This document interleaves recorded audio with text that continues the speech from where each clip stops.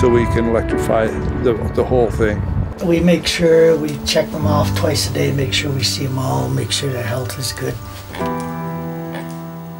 A couple of hours after she is born, a caribou calf can run.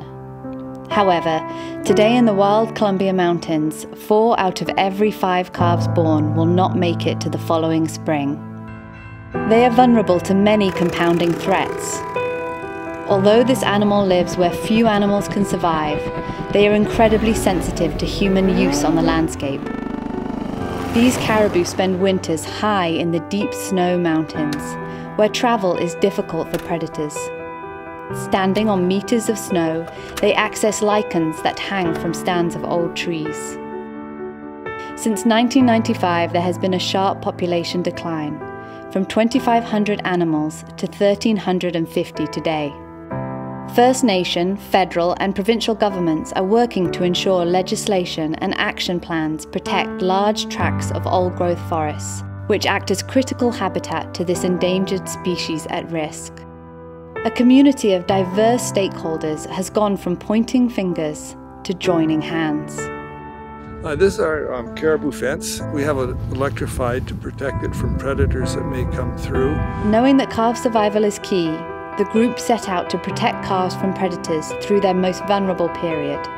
They built a 9.3 hectare maternity pen within the natural habitat of this herd.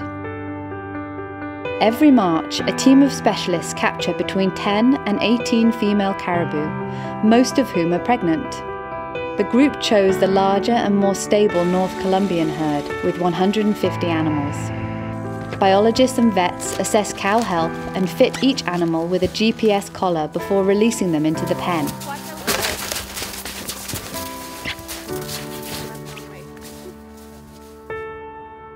Maternity penning is meant to strengthen the herd and prevent their extinction while impacted forests recover. We may miss our chance if we don't act now. These are our feeders that we feed the caribou, the pellets and the lichen in. And we put the roos over top of it because we get so much snow and rain here. They just sustain the animals while we have them in the pen and give them good nourishment. So when we turn them out, they're in good shape. Hundreds of volunteers collect lichen to help caribou transition from lichen to pellets.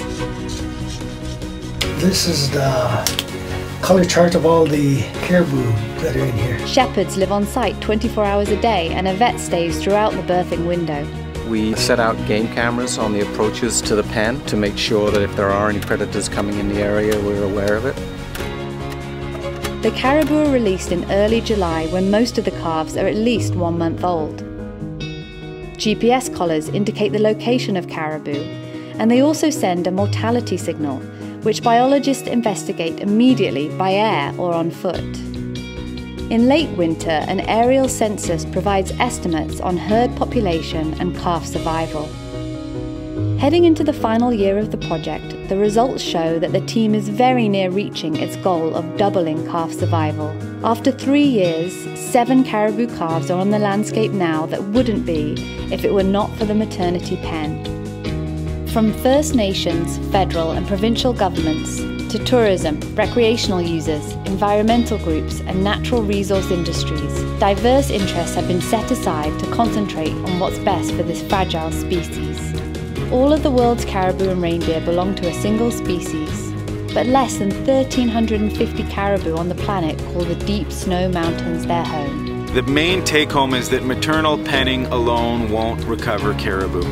You need to protect and restore the habitat, and you need to manage the predator prey system. So, penning is one important component, but a relatively smaller component from the overall big picture. The fate of this animal is in our hands. What will it be, heads or tails? Share this video.